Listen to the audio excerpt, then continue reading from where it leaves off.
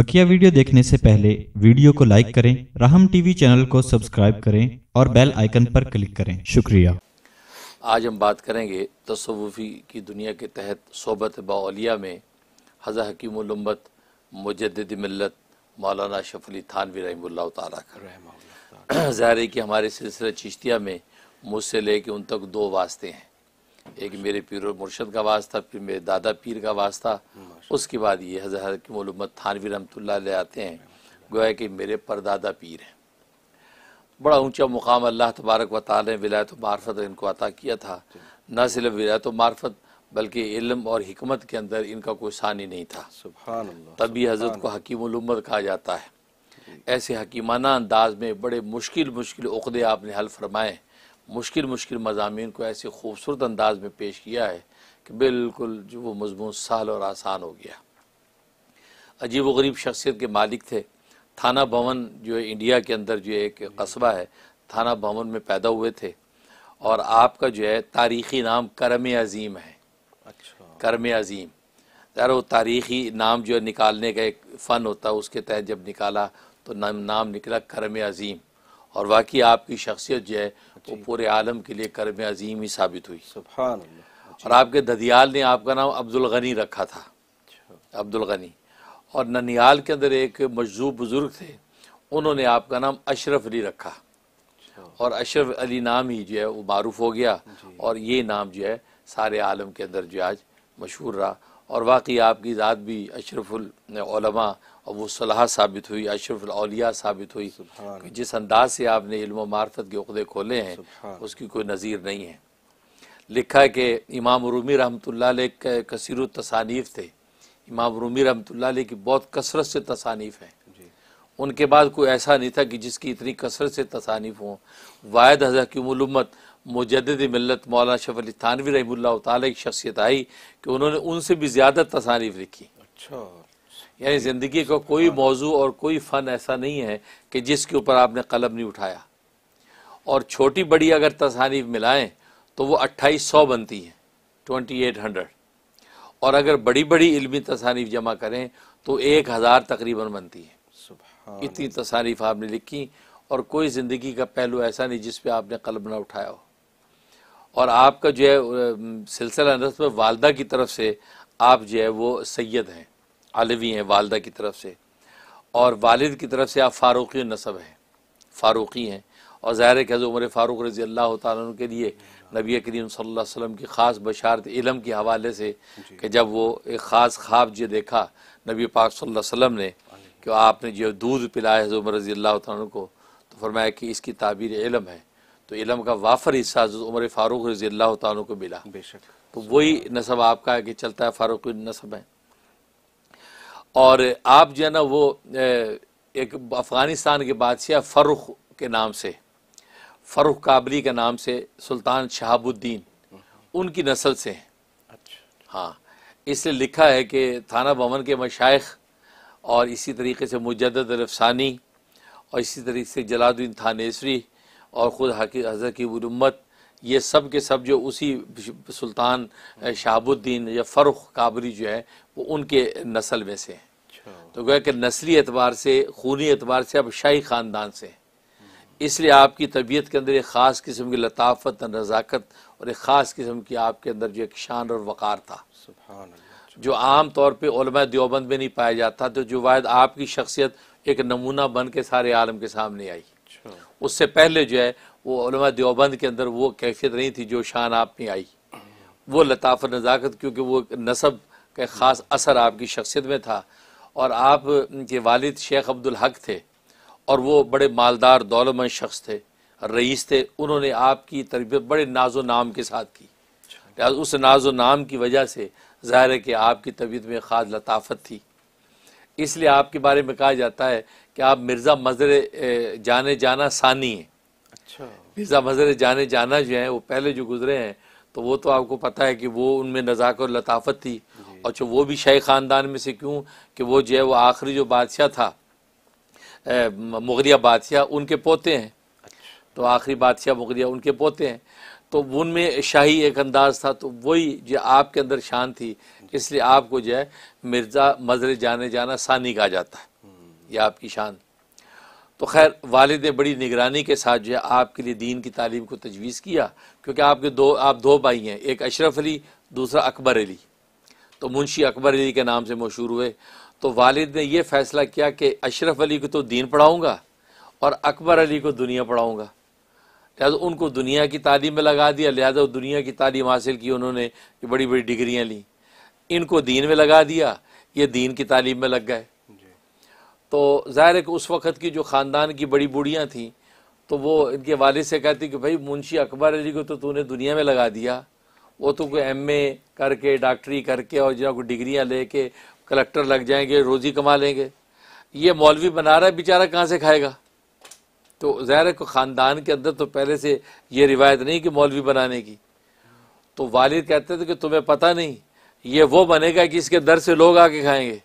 अल्लाह अशरफ अली तो वो बनेगा इसके दर से लोग खाएँगे। तुम ये समझो कि ये कहाँ से खाएगा?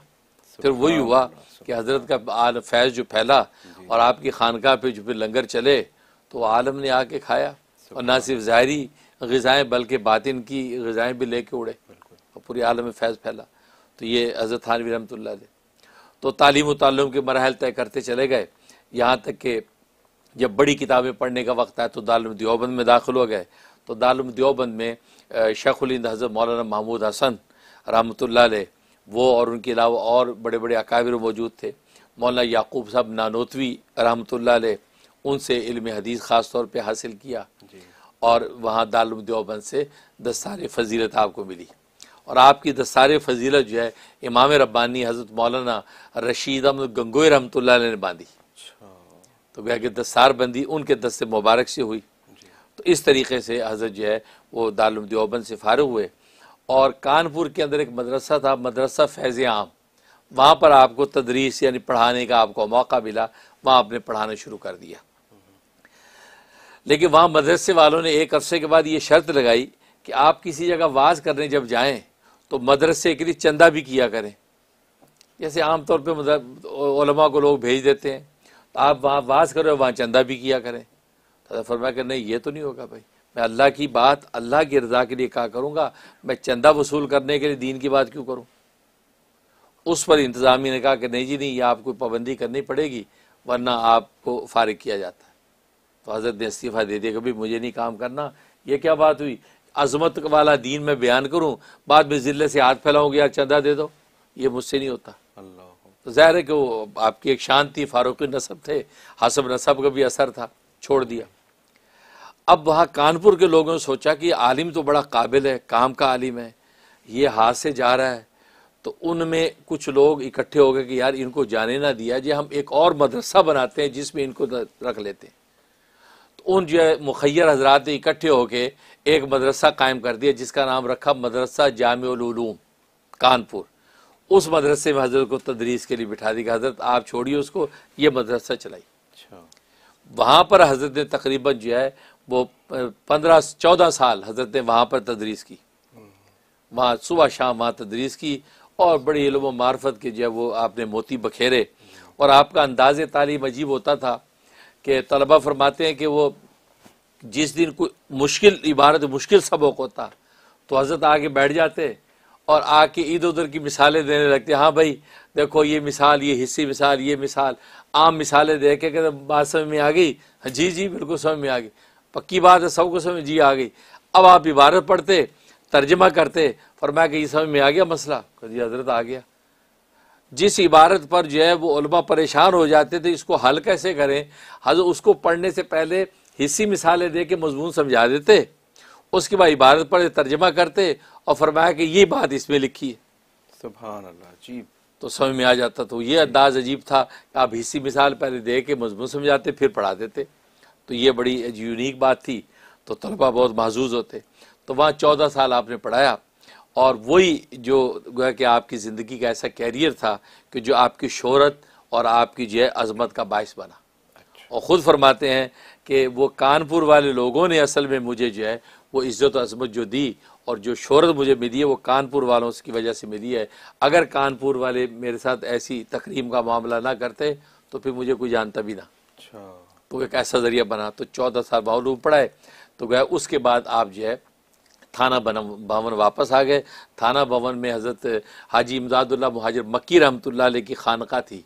तो खानका इमदादिया आपने वो खानका थाना भवन उसको आबाद किया। जी। गोया कि जब तक जी शाह और ये हाजी साहब जो इनके पीरो मुर्शो उन्होंने ये कहा था कि अशरफ अली जब तक तेरा मदरसे में पढ़ाने को जी चाह पढ़ाते रहना जब जी भर जाए तो यह खानका में आके बैठ के अल्लाह का नाम सिखाना। लिहाजा उन्होंने पंद्रह साल तकरीबन तदरीस की उसके बाद खानका में आके बैठ गए और फिर सुबह शाम उन्होंने जो अल्लाह का नाम फैलाया तो एक आलम जो है सैराब हुआ। और फिर ख़ास तौर पर इल्म तसफ़ु व तज़किया के ऐसे आसार रमूज़ के उकदे आपने हल किए कि जो गज़ाली और रूमी में क्या हल करें जो हज़रत थानवी रहमतुल्लाह ने जिस अंदाज से मसाइल को हल कर दिया। माशाल्लाह। यूँ फैज़ फैला। कहते हैं कि फरागत के बाद जब आप आप तालब इलमी का ज़माना था हक गंगोई मौलाना रशीम गंगोई रहमतुल्लाह तशरीफ़ लाए दारुल देवबंद में तो दरख्वास्त की कि हज़रत आप मुझे बैत कर लें। हज़रत फरमाया, तुम तालब इल्म हो? कि जी हाँ मैं तालब इल्म। कहा, तालब इल्मों को बैत नहीं करता। तालीम ताल्लुम में आप वक्त लगाओ तो जब फारग हो जाओ, फिर देखेंगे। तो ताल, बैत नहीं किया। उसके बाद जब फरागत का ज़माना आ गया, फिर उसके बाद दरख्वास्त की कि हज़रत मुझे बैत कर लें। उसका भी बड़ा लतीफ़ा हुआ। कि हज़रत जब बात देवबंद में तशीफ रहा तो लोग ज़ाहिर दौड़ रहे उनकी तरफ़ दीदार के लिए। अब ये हज़रत थानवी अलैह, ये भी शौक़ मोहब्बत में दौड़े, हैं। जब दौड़े तो उनके करीब जब पहुँचे तो ठोकर लगी। तो नाखून में ऐसे ठोकर लगी तो गोया कि नाखून में गोया कि उखड़ गया और ठोकर लग के यूँ गिरे। जैसे यूँ गिरे आगे की तरफ़ तो हज़रत गंगोई ने आपके हाथों से पकड़ लिया। गिरने नहीं दिया, संभाल लिया आप, संभाल लिया। तो अब आप बड़े जो वो हुए, शर्मिंदा। कहा कि क्या बात है? कहा, हज़रत, बैत होने के लिए बेकरार हूँ, आपसे बैत होना चाहता हूँ। तो हज़रत खामोशी इख्तियार फरमाई, उसके बाद कि नहीं, बैत से इनकार कर दिया। तो दूसरी मरतबा दरख्वास्त पर भी इनकार कर दिया। उसके बाद सबील ऐसी बनी कि आप हज पे गए। जब हज पे गए, मक्का मुकरमा पहुँचे तो हाजी मिजादुल्ला मुहाजिर मक्की रहमतुल्लाह मक्का में थे। तो वहाँ अपने वालिद के साथ ही हज पे आए थे। तो वहाँ हाजी साहब से मुलाकात हुई तो उनसे बैत होने की दरख्वास्त की। तो हाजी साहब ने बैत कर लिया। तो अब समझ में आया कि हज़रत गंगोई रहमतुल्लाह ने जो दो मरतबा बैत नहीं की तो गोया कि उनको तकवीनी तौर पे इशारा गैबी था कि ये किसी और के हाथ में हाथ जाने वाले हैं। ये तुम्हारा हिस्सा नहीं है ये हिस्सा हाजी साहब का है। लिहाजा गंगोई के पीरो मुर्शद से गोया कि आप बैत हुए। और हाजी साहब ने फरमाया कि मेरे पास छः महीने यहाँ गुजारो मक्का में छः महीने मेरे पास रहो। तो लेकिन चूँकि आप वालिद साहब के साथ गए थे तो अब वालिद साहब का साथ छोड़कर वहाँ ठहरना वालिद साहब का अकेला हिंदुस्तान आना मुमकिन नहीं था। तो माजरत की हज़रत दूसरे वक्त में मैं हाजिर हो जाऊँगा। अभी तो वालिद साहब के साथ हूँ। उनका ताबे बन के आए हूँ तो हज़रत इजाज़त दे दी तो वो चले गए। फिर एक अरसे के बाद जब मौका मिला तो फिर हज के लिए तशरीफ़ लाए। तो फिर हाजी साहब की खिदमत में छः महीने रहे। बस वो छः महीने जो थे, वो तरबियत थी आपकी। हाजी साहब ने सुबह शाम जो आप पर निगाह डाली और आपकी ऐसी शख्सियत को तराशा है तो फिर तो फिर हाजी साहब ने ऐसा कमाल दिखाया कि अशरफ अली थानवी हर तरफ़ नज़र आते थे। बल्कि आपके जो उस्ताद मौलाना याकूब नानोतवी रहमत वो फरमाया करते अशरफ अली वो वक्त भी आने वाला है कि तू ही तू नज़र आएगा फिर। कोई और नज़र नहीं आएगा। तो ही तो होगा। और वही हुआ अल्लाह वाले ने तालब इलमी के ज़माने में देख के ये बात कह दी थी और वो वक्त आया कि वाकई फिर अशरफ अली अशरफ अली था क्योंकि ऐसे मारिफ और फिर ये तसव सलूक के फ्यूज़ जो हाजी साहब के ज़रिए से आपको पहुँचे वो फैज़ान आपके अंदर जारी हुआ। तो इसलिए तो हज़रत थानवी अलैह को फिर अल्लाह ने ऐसा कमाल दिया कि हज़रत मौलाना शीर गंगोई रहमत ये तो मसल के देवबंद के गोया के बानी हैं। और हज़रत थानवी अलैह को ये मुकाम दिया कि ये मसल के देवबंद के शारे बने तर्जुमान बने कि मसल के देवबंद की सही तर्जुमानी आपने करके दिखाई। जी। और एक एक खुद हल किया और बिदत और खुराफात और शिरक के ख़िलाफ़ जिस अंदाज से आपने जो है वो बेहतरी की इन चीज़ों की कि पूरे हिंदुस्तान में उसकी नज़ीर नहीं थी। जी। चाहे बश्ती जेवर आपकी नापक और रोज़गार किताब बजती जेवर लिखी जो। लिखी तो आपने ख़वातीन के लिए थी कि मर्द लोग तो मदरसों में मस्जिदों में जाके बात सुन लेते हैं औरतें क्या करेंगी? क्या वो ज़माना तो था नहीं कि औरतें आके सुने औरतें घरों में रहने वाली उनके लिए किताब लिखी थी, लेकिन ऐसी किताब लिखी गई कि वक़्त के उलमा और सुलह भी उसका मुताला किए बगैर नहीं रहते। वो भी हज़रत शेखुल मौलाना जकीर रहमत फरमाते हैं कि हमारे ख़ानदान में कोई आलिम उस वक्त तक आलिम नहीं बनता जब तक बजती देवर ना अल्लाह तो बज़ाहिर वो औरतों की पढ़ने की किताब मालूम होती है, लेकिन उस किताब ने जो है हिंदुस्तान में इनकलाब बर्पा कर दिया। और आज आप जानते हैं, आज तक भी है, शादी ब्याहों के अंदर बतौर जहेज़ के, वो और दुल्हन को तोहफे के तौर पे बजती देवर दिया जाता है। कि घर में पड़ी होगी, कोई मसला देखना हो तो बजती देवर देख के मसला देख लोगे। क्योंकि ज़िंदगी के हर शोबे पे हज़रत ने उस किताब में गुफ्तु की है। इस अंदाज में दूसरी हज़रत के बयान कुरान बयान कुरान जो तफसीर आपने लिखी कुरान करीम की, दो जिल्दों के अंदर तफसीर है, उसकी कोई नज़ीर नहीं है। तीन जिल्दों के अंदर भी छपी हुई है तो उसकी कोई नज़ीर नहीं। इतनी ज़बरदस्त तफसीर है कि एक ख़जाना है। बज़ाहिर वो दो जिल्दें हैं लेकिन जब उसको फैलाएँ तो वो सैकड़ों जिल्दें बन जाएँ। अच्छा चुनाचे अल्लामा अनवर शाह कश्मीरी अलैह जी। दारुल देवबंद के मुहदस थे और हज़ार साल में ऐसा मुहदस पैदा नहीं हुआ। और उनकी का मिजाज था कि अरबी किताबें मुताला करते थे। कहते उलूम व मार्फत तो है ही अरबी में। तो अरबी ही के अंदर उलूम होता है उर्दू ज़बान में इल्म मार्फत कहाँ से आएगा? अच्छा। उर्दू किताब मुताला नहीं करते थे। जब हज़रत थानवी रहमतुल्लाह ने बयान कुरान लिखी तो ये किताब आपको भेजी बयान कुरान के हज़रत और अल्लामा अनवर शाह कश्मीरी आपके हम क्लास साथी हैं। अच्छा अच्छा। तो ये चार जो है ना ये शेख हिंद के शागिर्द हैं। मौलाना शबरी थानवी अल्लामा अनवर शाह कश्मीरी मौलाना हुसैन हुसैन अहमद मदनी और मौलाना शब्बीर अहमद उस्मानी। तो चारों जो है वो शागिर्द हज़रत शेख उल के। और हज़रत शेख उल ये फरमाया करते थे फरमाते थे कि मेरा तकवा हुसैन अहमद मदनी है और फरमाया मेरी ज़बान शब्बीर अहमद उस्मानी है। और फरमाया मेरा इलम जो है वो अल्लामा अनवर शाह कश्मीरी है। और मेरी तसनीफ़ ये कलम वो अशरफ अली थानवी है। ये फरमाते तो जब अल्लामा अनवर शाह कश्मीरी ने बयान कुरान पढ़ी तो जनाब धक रह गए। फरमाया कि मैं नहीं समझता था कि उर्दू ज़बान में के अंदर भी उलूम मुंतकिल किए जा सकते हैं। बयान कुरान पढ़ के मुझे अंदाज़ा हो गया कि इलम हो आदमी के पास तो उर्दू ज़बान में भी मुंतकिल हो सकता है। आप बयान कुरान उलमा पढ़ते हैं पढ़ते झूमते एक ही इबारत पर झूमते एक एक जुमले के अंदर हज़रत थानवी अलैह क्या इलम भर देते हैं? दरिया बकूज़ा जगह जगह दरिया बकूज़ा। हम पढ़ते हैं कभी मुताला करते हैं तो बस वो झूमता दिल आँखों से आँसू रवा होते यार हज़रत क्या कमाल कर दिया भाई। किस तरीके से आयत का मफहम हल कर दिया कैसा उकला हल कर दिया। फिर उसके अंदर हज़रत मसाइल सलूक भी हल किए। कुरान करीम की आयात में से जहाँ तसव्वुर सलूक के ये मसाइल हल होते हैं उनको भी ज़िक्र कर दिया। हाँ। हाँ उसका साफ़ लिख दिया कि ये जो मसाइल सलूक जो है वो ये ईसाई से ये तसव्वुर का मसला साबित हो रहा है। जी। तो ये बयान कुरान ये आपकी बेनज़ीर किताब। उसके अलावा और बड़ी आपकी तसारी। तो इस अंदाज से हज़रत की शख्सियत और हज़रत की शख्सियत में लताफ़त और अतदाल इस कदर था कि फरमाते हैं कि हज़रत गंगोई अलैह आखिरी उम्र में नाबीना हो गए थे। तो अब कमरे में आप तशीफ़ फरमा होते थे तो बहुत से लोग आते थे, आके चुप करके बैठ जाते इस्लाम इस्लाम बैठ जाते थे। हज़रत नाबीना खामोश हैं, कोई बात कर ली। लेकिन फरमाया कि मैं जब भी गया तो जाके मैंने कहा, अस्सलाम वालेकुम, अशरफ अली हाजिर है। अशरफ अली हाजिर हुआ है। साफ़ नाम लेता मैं। उसके बाद जब मुझे जाना होता कहा कि हज़रत अशरफ अली रुख्सत चाहता है। जी जी रुख्सत है। अल्लाह हाफिज़। फरमाया कि मैं इसलिए कहता हूँ कि चुपके से सलाम करके आके बैठने को नुकसान ये कि ये तजस्सुस है गोया की तरह का। क्योंकि वो शख्स तो पहचान नहीं रहा कौन आया है। हो सकता है वो कोई ऐसी बात करे जिसमें वो आपकी मौजूदगी ना चाहता हो। और वो बात कर दे। फरमाया कि ये भी तजस्सुस जिसकी मुमान कुरान ने दी है उसके साथ मुशाबत होती है। लिहाजा मुझे ये गवारा नहीं था। लिहाजा मैं जाके कहता था अशरफ अली हाजिर हुआ है और अशरफ अली रुख्सत चाहता है ताकि अगर मेरी गैर मौजूदगी की वजह से कोई बात करनी है तो हज़रत बात ना करें क्योंकि बैठे हैं वो। ठीक। ये ये इसको मिजाज की लताफत कहते हैं कि मिजाज और तबीयत भी इंसान की लताफत हो तो इन चीज़ों को इंसान ख्याल करता है। बिल्कुल। तो इस तरीके से हज़रत के अंदर इस किस्म का ज़ौक़ बहुत था। और ख़ानका जो आपने कायम की उसके अंदर जो जो असूल जवाबित थे जो शराइ थी वो ऐसी कि जनाब इंसान जब आए तो इंसान क्या इंसानों का फरिश्ता बन के जाए। अच्छा। ऐसी तरबियत होती। बल्कि लिखा है कि मौलाना कानपुरी रहमतुल्लाह एक बुज़ुर्ग थे वो फरमाया करते थे कि अब तो तालिब मतलूब बन गए हैं। और मैं क्या तालिब मतलूब बन गए मैं तो मुरीद अब हम मुरीदों को ढूंढते कि यार आ जाओ भाई हैं? तो हम मुरीदों के नखरे उठाते हैं और सोचते हैं कि चलो यार, अल्लाह का नाम सीख ले, जिस तरह भी सीखे। नखरे करके सीखे या बगैर नखरे सीखे, अल्लाह का नाम तो सीखे।